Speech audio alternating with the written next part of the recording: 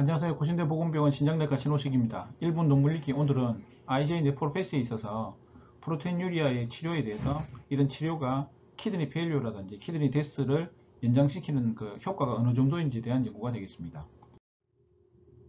보시면 2010년도 메타 분석을 통해서 어, 중요한 그 연구, 그 IJ 네프로패스에 대한 연구를 진행하였고 보시면 어, proteinuria를 40% 이상 감소시키고 hazard ratio를 0.41, 6.3년 이상 그 투석 기간을 어, 연장시키는 걸로 보였습니다. 따라서 이런 인터메이션이라든지 특히 단백뇨를 주기 위한 이런 인터메이션 같은 경우는 임상적으로 특별히 환자의 어, 콩팥의 기능을 계속 유지시키고 그 다음에 투석하는 기간들을 최대한 연장시킬 수 있는 아주 중요한 치료로 증명되어 있습니다. 경청해 주셔서 감사합니다.